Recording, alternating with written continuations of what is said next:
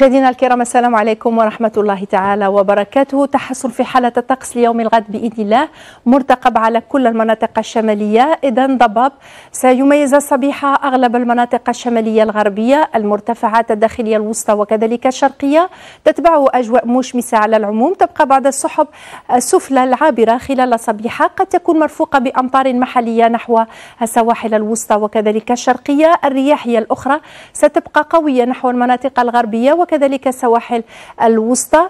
مصلحة الأرصاد الجوية ترتقب آه، بقاء بعض الأمطار تخص دائما المناطق الجنوب الغربي خلال الصبيحة تزول تدريجيا خلال الظهيرة وتنبه دائما من استمرار هبوب رياح قوية نحو مناطق الجنوب الغربي شمال الصحراء والصحراء الوسطى. ستعمل على انتشار الزوابع الرملية أجواء صحوة ومستقرة بشمال الصحراء والجنوب الشرقي وشبه رعدية بأقصى الجنوب لغاية الصحراء الوسطى.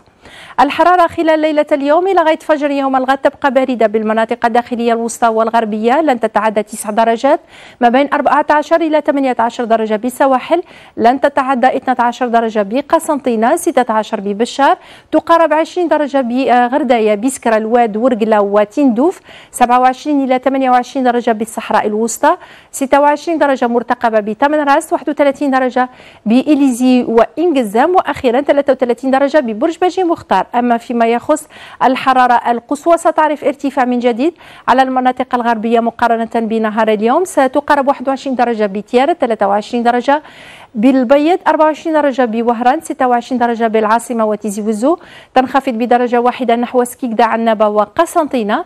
أه، تقرب 22 درجة ببشار لن تتعدى 28 درجة بتندوف. في حدود 31 درجة بغردايا بسكرة وورقلة. تقارب 34 درجة بتمن راس وأخيرا تتراوح ما بين 40 إلى 41 درجة بين إن صلاح إنجزام برج بجي مختار وإليزي. فيما يخص البحر خلال يوم الغد سيكون من قليل الاضطراب إلى مضطرب بالسواحل الشرقية والغربية رياح ضعيفة إلى معتدلة ضمن تيارات شرقية شمالية شرقية أحيانا تدور إلى شمالية تماما بالسواحل الشرقية. فيما يخص بعض العواصم الأوروبية الأمطار ستكون مرتقبة خلال يوم الغد بباريس مع 20 درجة. كذلك ببرلين تنخفض الحرارة إلى 13 درجة. موسكو أيضا أمطار مع 16 درجة أمطار أيضا بكييف مع 19 درجة.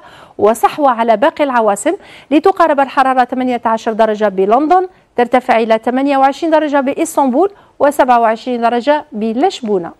نعود إلى أرض الوطن وقت شروق الشمس صبيحة الغد على مستوى العاصمة. سيكون في حدود الساعة السادسة صباحا و42 دقيقة والغروب على الساعة السادسة مساء و33 دقيقة. مشاهدينا أشكركم على حسن المتابعة ودمتم في